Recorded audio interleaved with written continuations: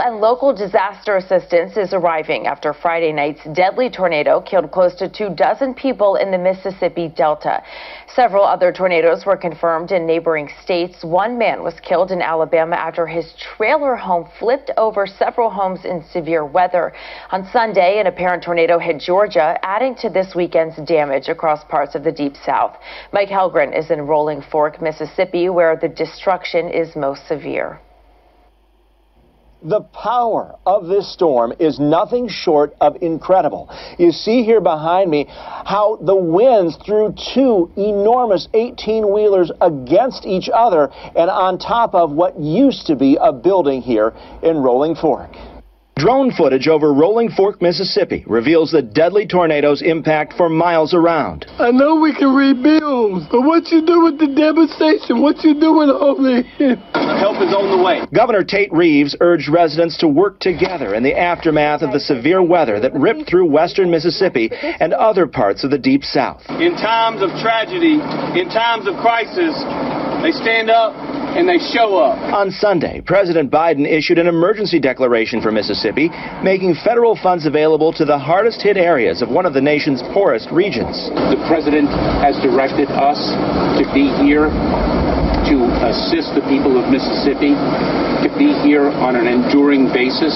There is simply nothing left of many blocks of downtown Rolling Fork where homes, offices, and houses of worship have been destroyed from the tornado. The organs sat here. We were able to salvage it, we hope. Here in town, the powerful EF4 tornado leveled Father Greg Proctor's church. What's in your heart when you look at this damage?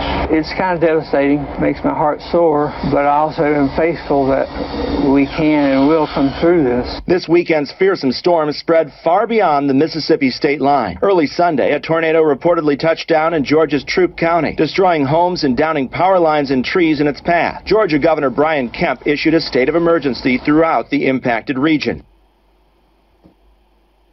There is a lot of love in this community despite the heartbreak, with neighbors helping neighbors with whatever they can spare food, clothing, drinks as everyone tries to recover here in Rolling Fork, Mississippi. Mike Hellgren, WJZ. Shalom, shalom. Yes, Ariel back at you with another lesson through the parent spirit of Yahweh Shem Yeshua, giving double honors to the elders and the apostles of Great Millstone, and the house of David is rising. This is the um storm aftermath, and um this is from WJZ News.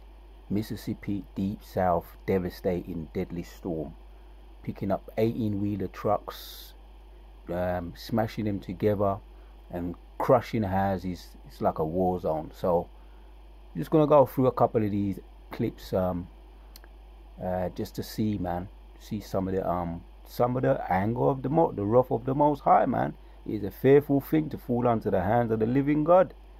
Let's check out a couple more of these when they when you hear about tornadoes, tor, tornado Andy or something. Anyway, let's, let's just let's just listen out. Picking up 18 wheeler juggernaut trucks. You know the you know the most is turning up, turning up judgments. And it's been a little while since I've done videos on judgments of the Most High. Let's check out another one. As we come on the air, a massive cleanup operation is underway in parts of the Deep South. More than two dozen people are dead, several missing from powerful tornadoes that ripped through Mississippi and Alabama. That weather system is now moving into the Northeast. The twister striking after dark, the night sky lit up by bursting transformers and lightning. Storm chasers joining residents and first responders, combing through the rubble of homes. Looking at the devastation, one Mississippi resident said, There's nothing left. Homes and businesses ripped to shreds, the roof of this restaurant torn off, tables and chairs, and much of the inside left intact. At least 12 tornadoes reported, cars and even a tractor trailer sent flying. A water tower crumbled to the ground. Mississippi's governor declaring a state of emergency. And DHS Secretary Mayorkas offering assistance to the communities impacted. ABC's Phil Lipof leads us off. Tonight, the deadly tornado emergency unfolding just after dark. Is there a big tornado, big wedge? AccuWeather capturing that monster twister in Rolling Fork, Mississippi, northwest of Jackson. Almost impossible to see. illuminated by transformer power flashes and lightning. That twister on the ground for more than 90 miles. And southeast of Tupelo, 90 miles, boy. I think it's I think the name of the twister is Alley. Tornado Alley. When you hear about 90 miles, man, that's and it's devastating towns, just living in towns like uh, it's like it's, it's been through a war. Um, Tornado Alley. Mississippi, northwest of Jackson, almost impossible to see illuminated by transformer power flashes and lightning. That twister on the ground for more than 90 miles. And southeast of Tupelo, another tornado emergency. The radar revealing a dire situation as the twister closed in. Oh man, like north side of Amory, this is coming in. Oh man. Yeah, boy, you got family there? Say a prayer, man. Say a prayer to Jesus and Jesus ain't gonna hear you. He ain't gonna come for you. He's not. He's not. He's not God. He doesn't exist. Now's the time. People are gonna realize, man. Now's the time to know the true Lord, man. The name of the high power Lord, who's in control of the universe, the earth, the elements, and everything in between. Look at this man. Look at this man. Moses sending out, you know, he's laughing right now, but he's sending terror in the earth, man. The twister closed in.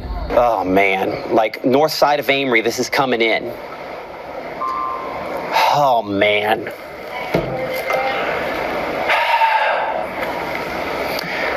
Dear Jesus, please help. That more than two dozen killed in Mississippi. That's that uh, deep south, real right wing racist area. Also, I'm gonna send devastation to them. Look at it. Look at that places of worshipped put and you hear you hear what the pastor said there or the white man the white pastor with the collar on. He said we have faith we have faith in your devil god.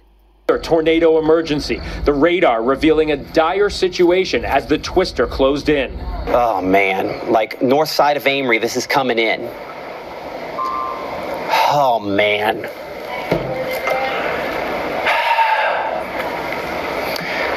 Dear Jesus, please help them. Hey, y'all need help over there! Back in Rolling Fork, storm chasers joining first responders and residents in a race to help the injured.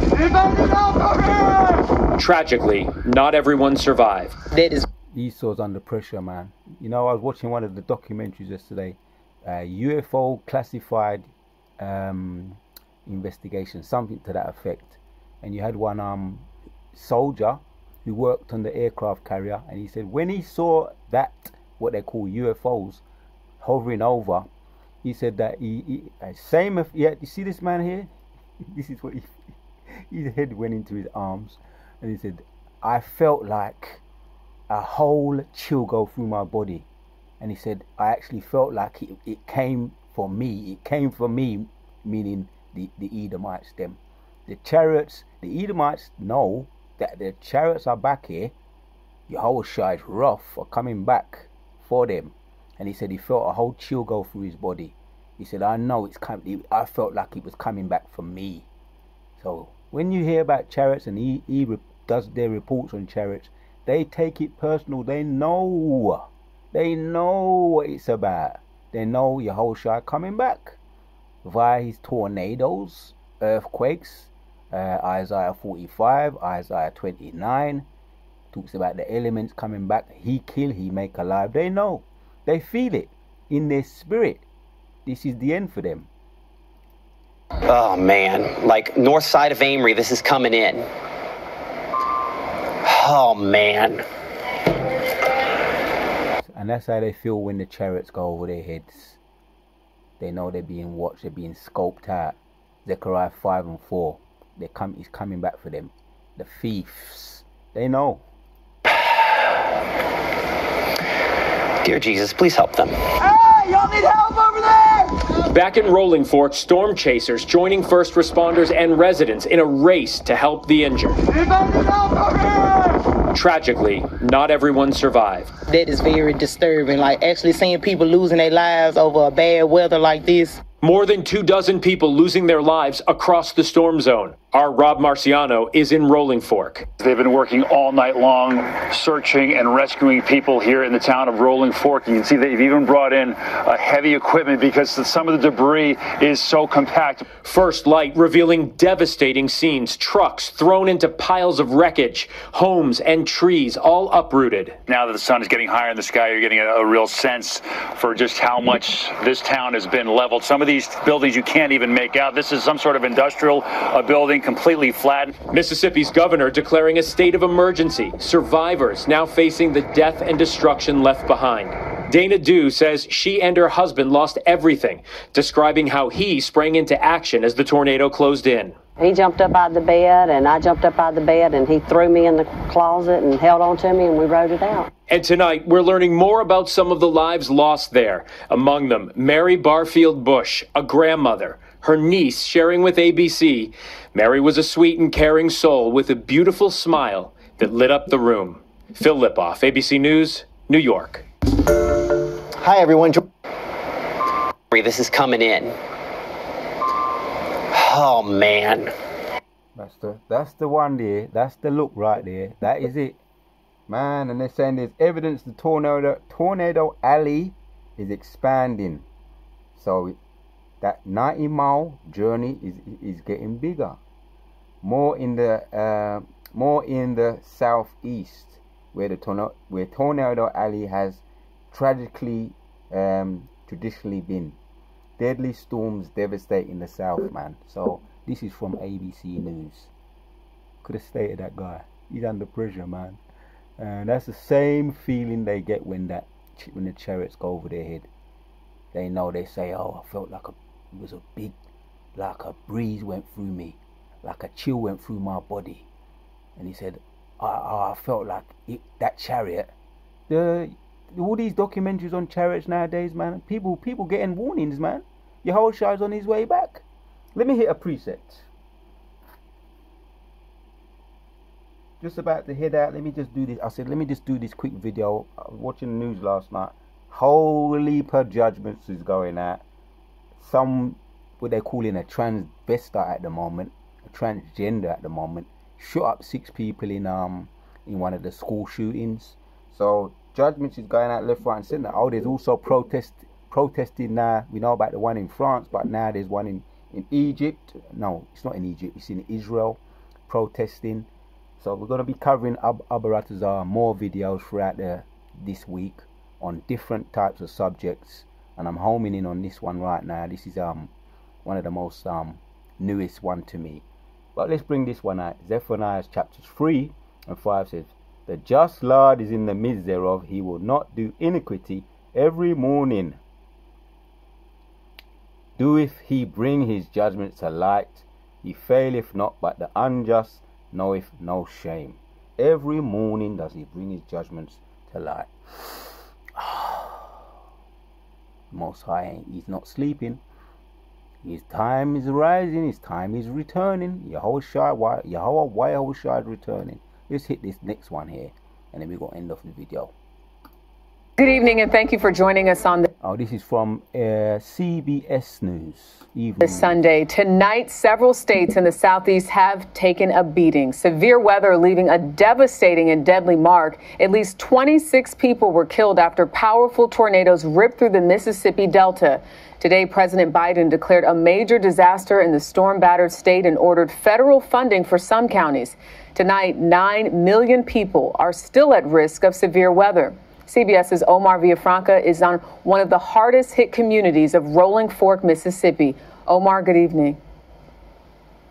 Good evening. 13 people were killed here in Rolling Fork, a small community of about 2,000, and they cannot catch a break. It is raining. There is more storms that are going to be in the forecast, and that is slowing down the cleanup effort. In Rolling Fork, Mississippi, the damage is widespread and in every direction. The deadly EF4 tornado, with wind speeds up to 170 miles per hour, turned homes and businesses into piles of rubble. Instead of Sunday service, it's a salvage mission for Pastor Greg Proctor at what's left of his Chapel of the Cross church. We're standing in the choir loft. The tornado tore the roof off the chapel and smashed the bell tower. One of the few things that survived without a scratch was this brand new stained glass window honoring Francis Mitchell's 96 year old grandmother, Ricky Moore, a longtime church member. When you pulled up here, did you think it was gone? Yeah. I can't explain it. She means a lot to me, and I cannot believe that that window is still there. In nearby Amory, a school was pounded by the winds. The storms left a 170 mile path of destruction. They started in Mississippi, then traveled east, where hail hammered Alabama. And in Georgia, a pair of tornadoes battered the western part of the state, leveling dozens of homes and prompting the governor to issue a state of emergency. Back in Rolling Fork, Pastor Proctor says the storm may have destroyed the church, but not the spirit of the congregation. Are you determined to have this congregation meet again? Yes. One way or the other, we will rise again as a congregation. Oh, what's that? Um, Malachi, they shall rebuild, but I shall tear down. Oh, okay. he shall rebuild, but I shall throw down again. He said, the church has been mashed up, but the, not the congregation. Dozens of homes and prompting the governor to issue a state of emergency. Back in Rolling Fork, Pastor Proctor says the storm may have destroyed the church, but not the spirit of the congregation. Are you determined to have this congregation meet again? Yes. One way or the other, we will rise again as a congregation. Got one. I got one. Malachi chapters 1 and 4 says, Where is Edom, saith we are impoverished, but we will not, but we will return and build the desolate places. Thus saith the Lord of hosts, they shall build, they shall build. Of the congregation. Are you determined to have this congregation meet again? Yes. One way or the other, we will rise again as a congregation. They shall build, but I will throw down. And they shall call their borders of wickedness. Uh, they shall build, and I will throw down, and they shall call them the border of wickedness, and the people against whom the Lord hath indignation forever. There, you're going to rebuild. That's like what he just said there. Said he's going to throw down. And these are people that he has his anger against, his faces against them forever. So there's not going to be no mercy or forgiveness for these people. Enough said. Emergency shelters are open to get people out of this weather, and there are crews from multiple states here helping, trying to get people back on their feet. But FEMA says this recovery will take a long time. And even if you do, it may take a long time. And even if you do rebuild, what did Yahweh Hashem Yehoshua say? What did it say? Malachi 4 1 and 4 says, Where is Edom? saith, We are impoverished, but we will return and build the desolate places. Thus saith the Lord of hosts, They shall build, but I will throw down. Jerika? Absolutely. Enough said. Enough said. They shall build, but I will throw down. We're going to end off the video. This is the one that really stands out for me. This one really stands out for me, this one. He knows the time is running out very, very near now for you. For you to go back in shackles. The people made Isaiah uh, 34, Isaiah 40. Is it Isaiah? Yeah, Isaiah 34, man. The people made for his Yahweh, Yahweh's curse. As the twister closed in. Oh man, like north side of Amory, this is coming in. Oh man. Isaiah 34 and 5 says, For my soul shall be bathed in heaven. Behold, I shall come down upon Idumea, upon the people of my curse, the judgments. The sword of the Lord is filled with blood. It will it is made fat with fatness, and with the blood of the lambs and goats, with the fat of the kidneys of rams. For the Lord have a sacrifice in Bozrah, and a great slaughter in the land of Idumea. It's getting real. The chickens are coming home to roost. They're closed in. Oh man, like north side of Amory, this is coming in. Oh man. Isaiah 29 and 5 says, Moreover, the multitudes of thy strangers shall be like small dust, and the multitudes of the terrible one shall be as chaff that passeth away. Yet it shall be at the at an instant, suddenly. Yeah. You're never gonna have time next time, man. You might not. You might be up there, caught up, caught up in it. What was he doing, man? Praying to who? Who's he praying to?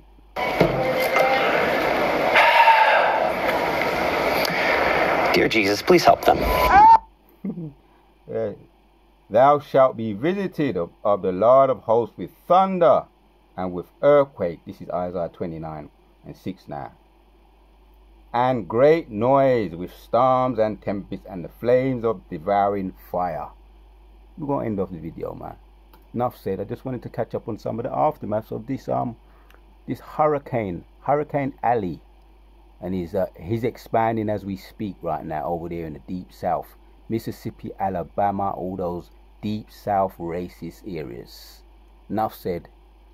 Give all praises to Yahweh Ba'ashem Yahushai for give, give me the spirit to do this video. The house of David is rising and everything the wicked have done to us, past, present, and future, is falling upon their own head. Closed in. Oh man, like north side of Amory, this is coming in. Oh man.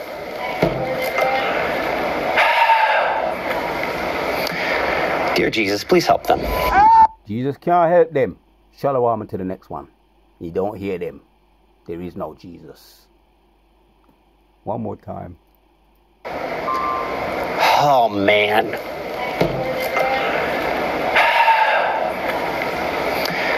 Dear Jesus, please help them.